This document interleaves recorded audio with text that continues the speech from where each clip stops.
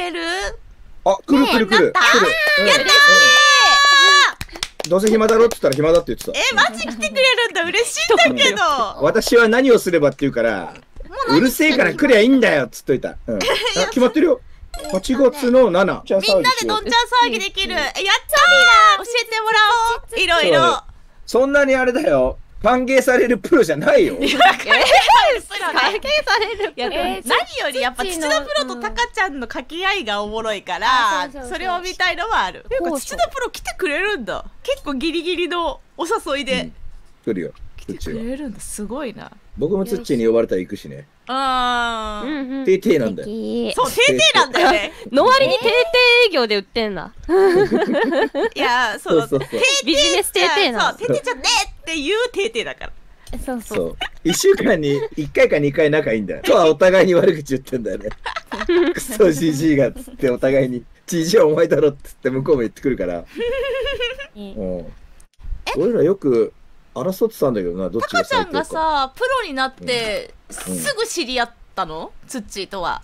ツッチーはね、うん。僕が知り合った頃は、僕が入って5年後ぐらい、僕がやってる研究会に、うんうん。僕が多い研究会っていうのをやり始めたのよ。はいはいはいはい。今から25年ぐらい前に。ここで強い人がブワッと集まって、そこでね、タイトルを総なめにしてったんよ。ほもう数ある日本、日本一のタイトルうを、僕らの研究会でブワーって取った時に、うんうん。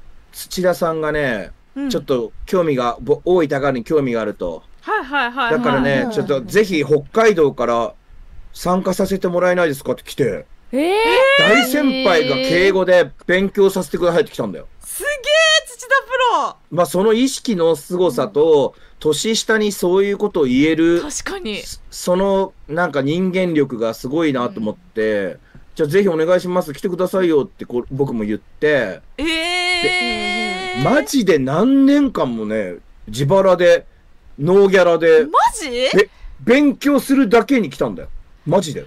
毎月。えなんかー、昔の方が先輩生きてそうなのになあ、そうそうそうそうそう。なんか今よりもね本当。すごいな。そうそうあ、いや、だ、それはいい。僕のその、なんだろう。なんか見抜いたのかねわかんないけど。みんな言ったね。えーすごいじゃんエモいじゃんやっぱりそうなのに、タカちゃんとジジイって言ってんの？ドジジイがよ、つって、ね。でもさ仲良くないと言えねえよなえだから、それはそう。ちょ、冷静に考えたら、僕はひどいことをしているんだよね。で僕で 僕に興味を持って、あの人北海道に前いて、うん。北海道に3年間、毎月2泊3日で僕を招待してくれたんだよ。ギャラありで。毎月？俺、毎月えギャラありなの？2泊3日。しかも。ギャラありでしかえー、で、一流のすっげえ高い、一泊何万のホテルに泊めてくれて、えー、すごい！何？さ3食全部ご飯も向こうが全部出してくれて、それを3年間、そうなのにジジイって言ってんの？謝りたい、今。あれ？えすごいえそんなことあるんちだょちょ、ほんと、土屋さん、ごめん、ななんかごめんなさい、なんか生意気言って。えその子なんかめっちゃ高い壺勧められたとかじゃないよね？いや、なんだろう、仕事を紹介してもらったり、えご飯をずーっとごちそうになったりしか思い出がないわ。めっちゃいいことじえめっちゃいゃないいか。人じゃん土田プロ。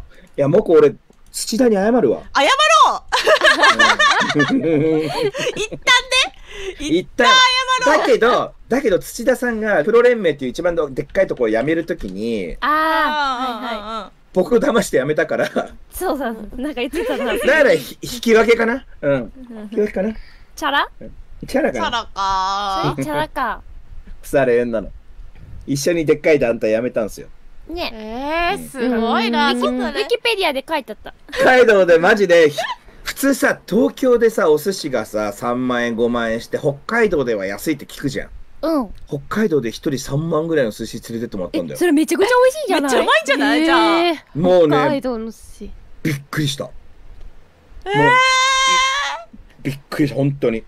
でもやっぱそういうのって覚えてるよな覚えてる覚えてるねわかる、うんそれが初めて食った、今から20年ぐらい前に食った、初めての高級寿司だよ。やっぱりね、えーよくしてもらったことって覚えてるよな覚えてる覚えてる。えー、えもういいねなんでけえ、なんであの人のことを悪口言うんだろう、僕は。今度謝ろう今はもうあの、ほら、今から新駅だから、タカちゃあ、んそ。っか。うん。そう高所のこと考えるとチートエッツやっちゃうから。やばいやばいやばいやばい。